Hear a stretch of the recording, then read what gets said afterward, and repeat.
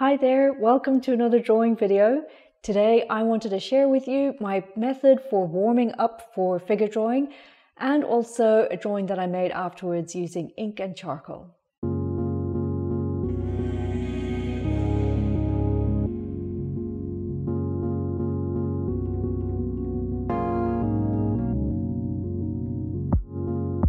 If you're new to this channel, my name is Siobhan. This is Art Skills Online. This is where I post videos related to figure drawing and specifically how to build up your gestural and responsive way of drawing the figure. I focus on gesture and contour in order to work in an intentionally natural and expressive way. So if that's something that interests you, then please stick around, consider subscribing if you haven't already, and don't forget to say hi in the comments. So one thing that I'm very aware of is that if you are trying to set up or maintain a daily drawing practice, you really have to be very self-directed. So in a live drawing class or a fig live figure drawing session, there's a set structure that you can just go along with, and you've got your warm ups in the beginning that are the short poses, 30 seconds or one or two minutes. But if you're working on your own in your sketchbook, it's easy to forget to warm up. So, what I do is literally just I start scribbling. I find this is a good way to just get out of my thinking process or let go of those expectations that I put on myself by simply opening the sketchbook. So if you pick up a pen or a pencil and just start making marks, uh, no matter what, just scribbling on the page, this is a really good way to get you zoned in very quickly.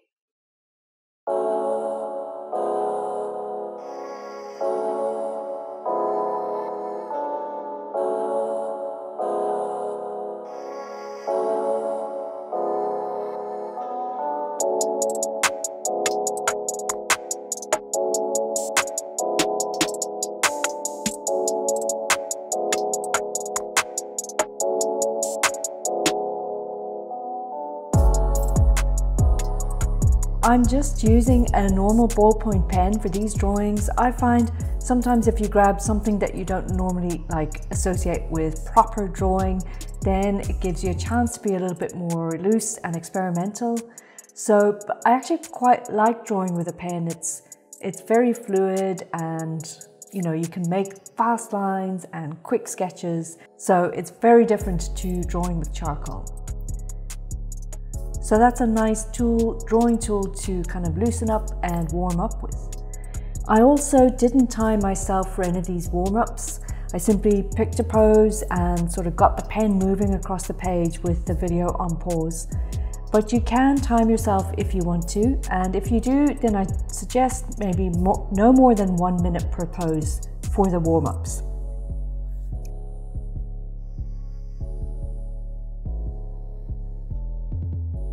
It's also important to note that these are nowhere near finished drawings or even drawings in and of themselves. So don't put any pressure on yourself to try and make a drawing or to make something look nice or what you think looks good. What you're really trying to do is almost like drawing drills. You're just taking time to loosen up.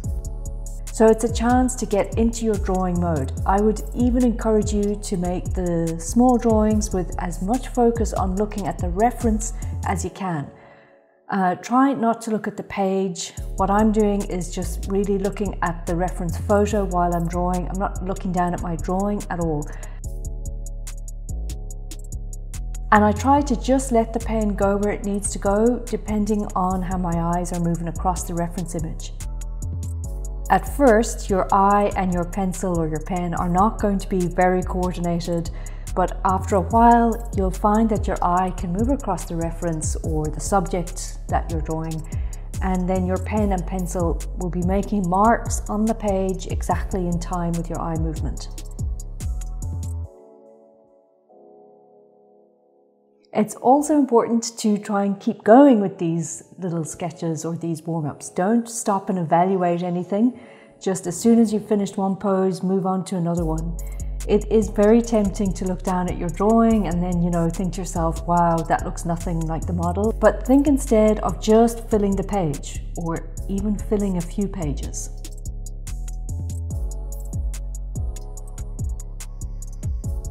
Eventually, it will start to click in, and that's when you can start to sense in yourself that you're slowing down or your thinking is slowing down, your sort of evaluating and judging is slowing down, and even your line work will start to slow down and it gets all gets a bit calmer and then you can feel like you're looking more than you are trying to draw.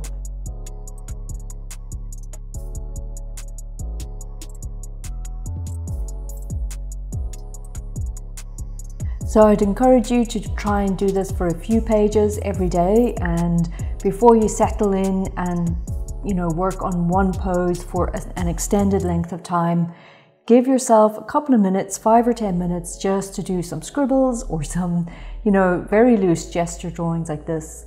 I've talked before about how I really think that gesture drawing is something that you can do in a really long study. It's not just um, meant to be for warm-ups.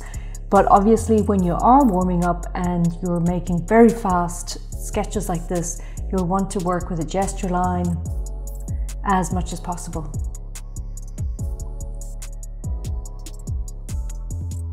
So after these warm-ups, I started working on another pose for a longer study and for this one I used a brush and ink with an ink wash and a charcoal pencil.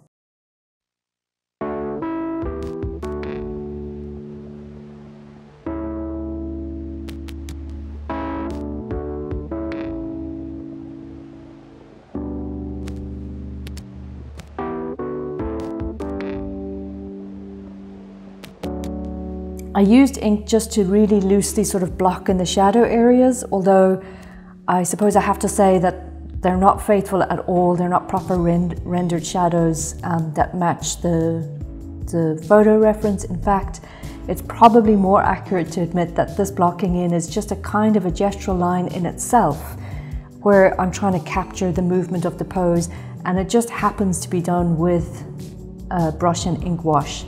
Luckily though, turns out at the end that those these marks with the with the ink kind of match the shadows a little bit. Not properly or not accurately but they give the impression.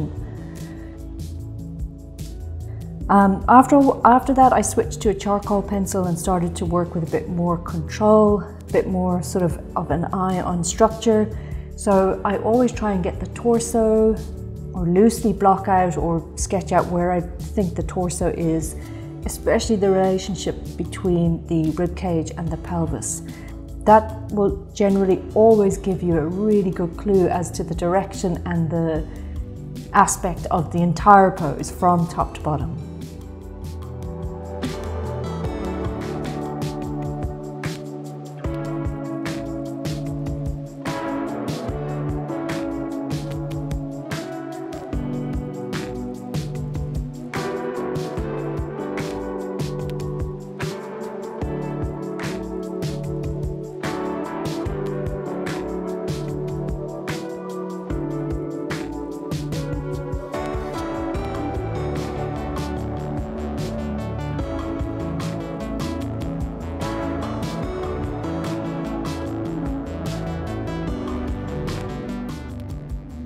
I'm really not sure there's anything else left for me to say for this drawing anyway. The main point that I wanted to share with you in this video is that if you give yourself time to do these warm-ups or give yourself permission almost to do a bunch of really bad drawings at the beginning of your drawing session, it'll help you to settle in and to find a very natural and fluid response to your reference, to your subject matter that you're drawing.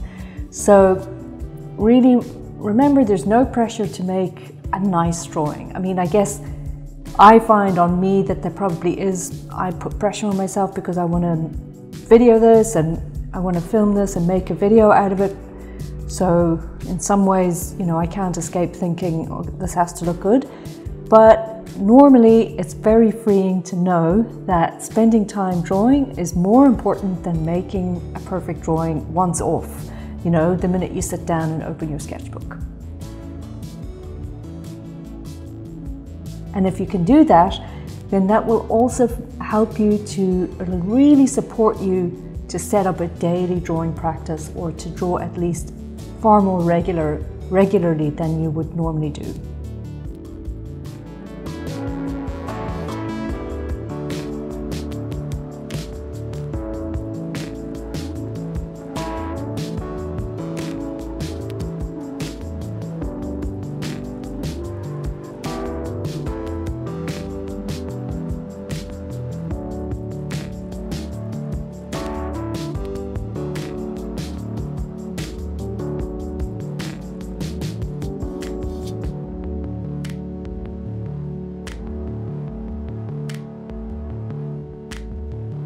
So thank you so much for watching this video all the way through to the end and sticking with me. I hope you enjoyed it. I hope you learned something from it or got some useful information or at least got some inspiration to start working in your own sketchbook and to not be so hung up on making perfect finished drawings.